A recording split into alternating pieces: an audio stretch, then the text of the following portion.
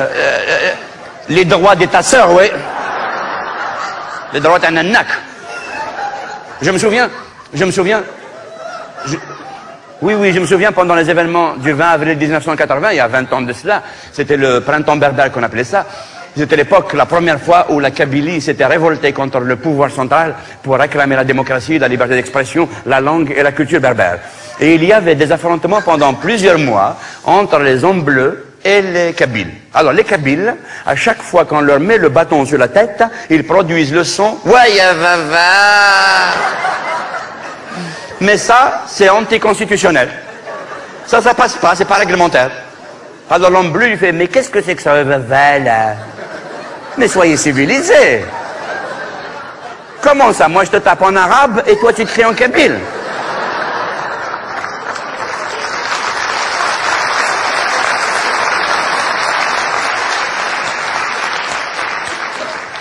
Mais, comment voulez-vous qu'on construise un pays ensemble? Comment voulez-vous qu'on bâtisse une nation si on n'est même pas synchro?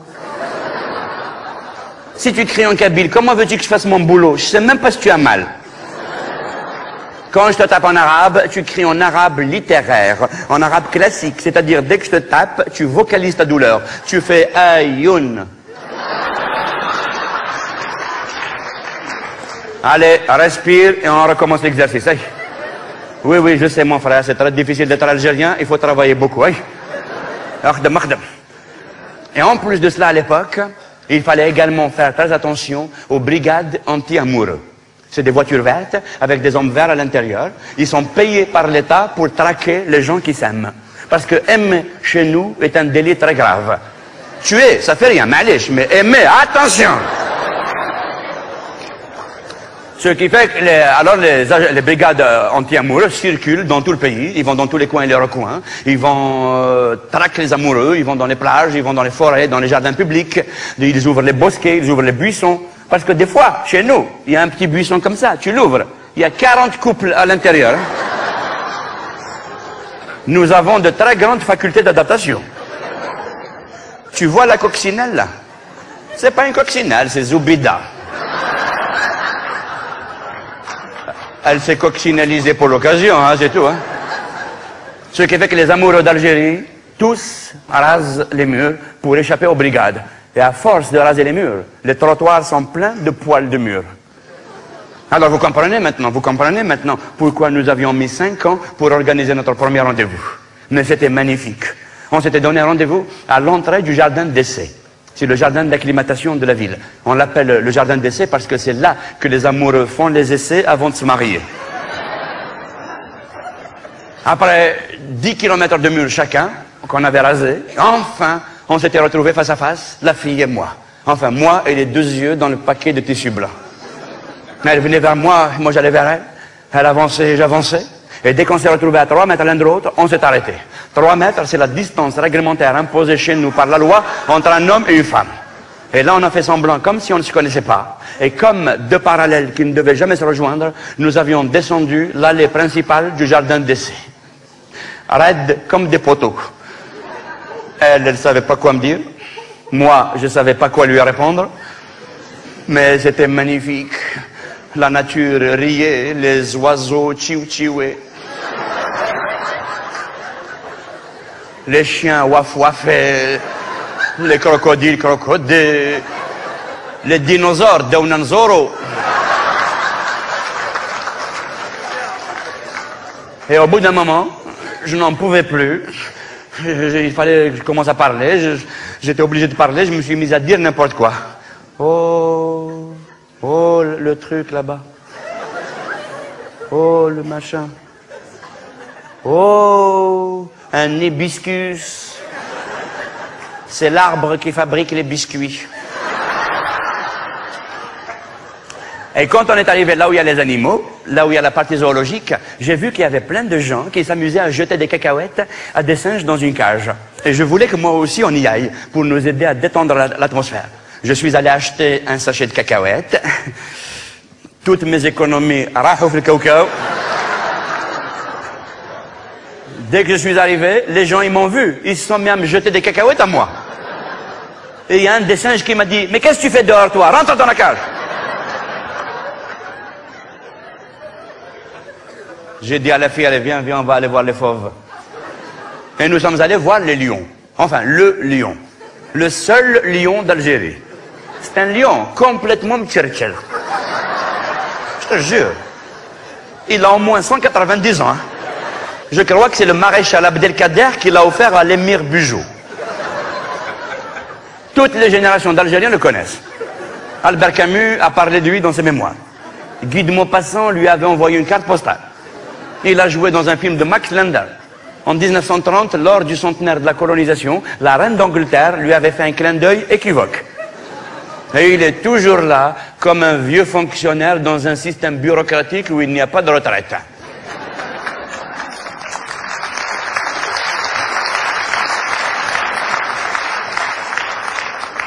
Sa peau, sa peau, ça fait au moins 50 ans qu'elle a pris l'indépendance avec le corps. hein.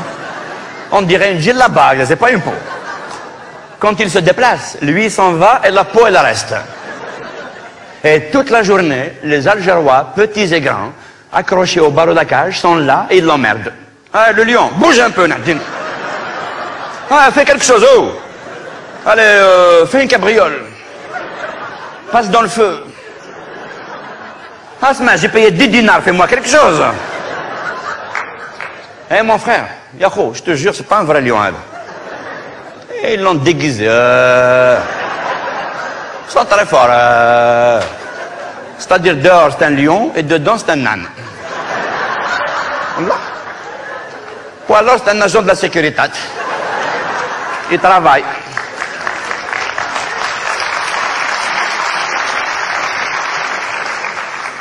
Il y, a même, il y a même des audacieux qui ouvrent la porte de la cage et ils rentrent à l'intérieur. Salam alaikum. Waouh, c'est moi le lion, c'est pas lui. Et ils attrapent le lion par le cou, ils le soulèvent, ils prennent des photos avec.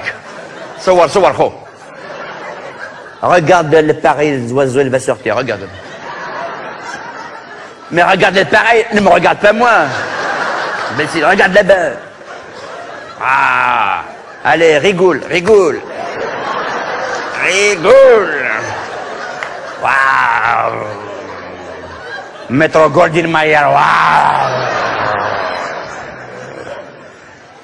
Et le chef du Bureau national de l'administration centrale démocratique, département Fauve, section Lyon, lui avait suspendu dans sa cage le portrait du président Boumedienne. Le lion, il était dégoûté. Dégoûté du centralisme démocratique. Et après cela, la fille et moi, nous avions quitté le jardin et nous sommes allés juste en face, au bord de la mer, dans une plage qui s'appelle les Sablettes. Nous nous sommes assis tous les deux sur un rocher. C'était magnifique. Il y avait la mer, les mouettes, le globe terrestre et nous deux posés dessus. C'était le plus beau jour de ma vie. Comment vous dire mon bonheur ce jour-là? Je n'ai même pas les mots qu'il faut. Ce jour-là, ce jour-là, j'étais plus heureux qu'un Algérien qui vient d'obtenir un visa pour venir en vacances en France, travailler comme immigré toute la vie si c'est possible. Nous sommes restés dix heures comme ça, sans bouger. Moi, le rocher, il m'a troué les fesses. Hein. Mais j'osais pas bouger. Je me suis dit, si je bouge, elle va mal interpréter mon geste, elle va s'en aller et c'est un investissement de cinq ans qui tombe à l'eau. Alors je me suis dit, Akhouya, ne bouge pas, mets des l'eau. De toute façon, qui n'a rien ne risque rien. Et à un moment donné, je n'en pouvais plus. Et là, je me suis retourné.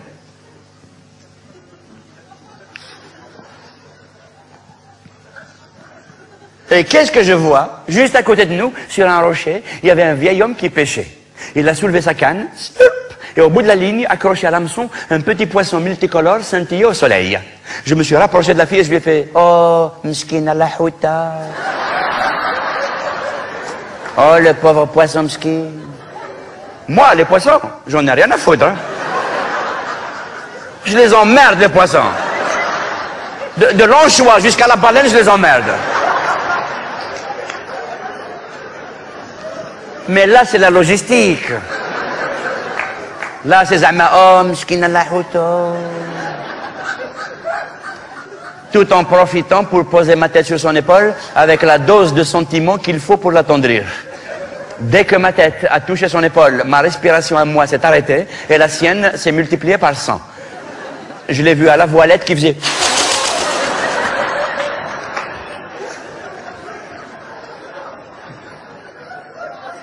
Nous sommes restés trois ans et demi comme ça. Comme des statues de sel que les embruns léchaient. Tous les jours, elle me racontait sa vie.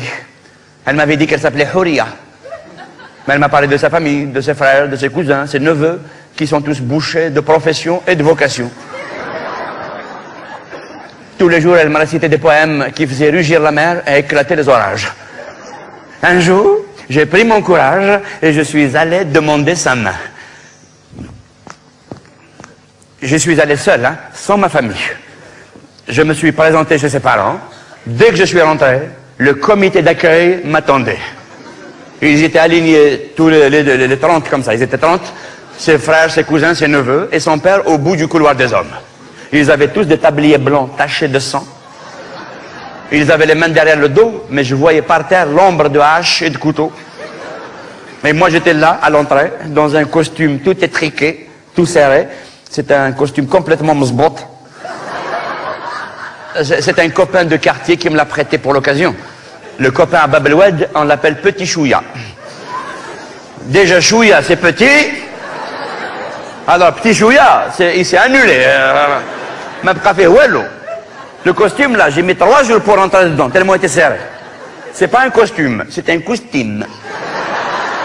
Je. Tiens, justement, je me suis toujours demandé pourquoi euh, euh, dans le monde entier on dit euh, chocolat et chez nous on dit chicoula. Hein? Vous avez remarqué hein? Ça vous a travaillé vous aussi hein? Eh bien ce n'est que maintenant que j'ai compris. Nous on prononce chicoula parce qu'on a juste un peu. Chicoula, Les Français, ils mangent du chocolat. C'est du chicoula. Quand il le met dans la bouche, il se souvient plus où il l'a posé. De quel côté je dois mâcher? Oh Qu'est-ce qui C'est du chicoula, donne-moi un peu, il n'y en a plus. Ah, alors donc j'étais là, à l'entrée, dans mon costume. À la main droite, j'avais un bouquet de fleurs, un bouquet de soucis, agrémenté de misère. À la main gauche, j'avais un paquet de gâteaux. C'est le pâtissier du quartier qui me l'a prêté. Et qui m'a dit, ça s'appelle, il revient, hein. Tu le montres et tu le ramènes après. C'est le geste qui compte. Alors je suis passé au milieu de tout le monde et je me dirigeais vers le papa. Salam alaikum, salam alaikum. سبعة سبعة الحمد لله سبعة سبعة يقول سبعة شوية سبعة سبعة الحمد لله سبعة سبعة سبعة سبعة الحمد لله سبعة تربية سبعة يقول سبعة سبعة سبعة الحمد لله سبعة تربية سبعة سبعة سبعة سبعة الحمد لله سبعة سبعة تربية سبعة سبعة سبعة سبعة سبعة سبعة سبعة نقول لك وانت سبعة سبعة سبعة الحمد لله سبعة سبعة سبعة سبعة الحمد لله سبعة تربية تبقى سبعة سبعة بس عدوى سبعة عدوى عدوى سبعة يوم سبعة سبعة عدوى سبعة أنا سبعة أنا تربية الحمد لله وأنتم سبعة شوية بس الحمد لله سبعة لا بس الحمد لله سبعة تربية إحنا التانيين بس الحمد لله سبعة نوسي الحمد لله سبعة تربية سبعة الحمد لله سبعة Et dès que je suis arrivé là, j'ai tendu le paquet de gâteaux. J'ai tendu le paquet de gâteaux. J'ai tendu le paquet de gâteaux au monsieur. Ah non, le gâteau, ça s'appelle revient. Je suis arrivé en face du père. Le père, c'était un géant. Il a fait deux pas vers moi. Il s'est penché, il a posé son nez entre mes deux yeux et il m'a fait Ah, shoot, dini. Qu'est-ce que tu veux, enfoiré de Din Babek Et je lui ai dit, je lui ai dit, mais monsieur, monsieur, s'il vous plaît, je suis un garçon de bonne famille, mes intentions sont bonnes, je voulais juste vous demander la main de votre fille Huria. Et là, il a hurlé, Spice di Klibar Comment tu sais qu'il s'appelle Huria? Hein? Comment tu sais qu'il s'appelle Huria C'est un bon question, ça. Hein? Comment tu l'as connu? Où tu l'as connu? Pourquoi tu l'as connu? Mais où est donc Ornicara? Il a soulevé la hache, il allait me frapper. Je reculais, il avançait, moi je reculais, tout en regardant une issue par laquelle je pouvais m'échapper. Les autres aussi avaient brandi leurs armes et avancé vers moi. Un des frères, vlouf, vers la porte, ric-rac, à double tour. Il a mis la clé dans sa poche et je me suis retrouvé collé contre la grande porte. Ils avançaient tous et juste au moment où ils allaient me frapper, je leur ai dit, mais, mais je l'aime. Son père a hurlé, ouais,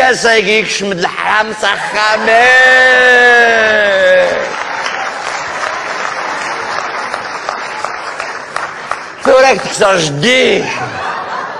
Aujourd'hui, le pichi, il est entré dans ma maison. J'y vais t'arracher ta mère tout de suite. Il allait me frapper. Il allait me frapper. Et juste à ce moment-là, sa fille Horia, qui de la cuisine, avec sa maman, assistait à toute la scène, à travers l'entrebâillement de la porte, avait surgi de toutes ses forces. Elle s'est mise en travers de nous deux et lui a fait « Mais moi aussi, je l'aime, papa !» Un hurlement est monté des genoux du père.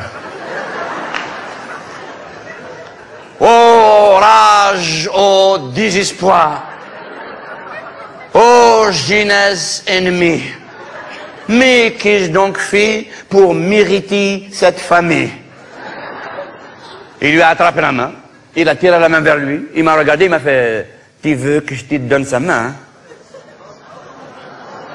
Eh ben, je vais t'arranger ça. Ah ben oui, c'est comme ça. Hein. Ah, ben euh, je sais que c'est difficile, mais il faut aller jusqu'au bout. C'est le texte qui est comme ça. Moi, je suis avec la fille, moi aussi. Hein. Voilà. C'est à la belle. Mais là, je joue le père, c'est obligé, je vais jusqu'au bout. Et... Il lui a coupé la main. Il a lancé la petite main frétillante de Huria sur une balance qui se trouvait là à côté. Et il m'a regardé, il m'a fait un kilo de côtes gras.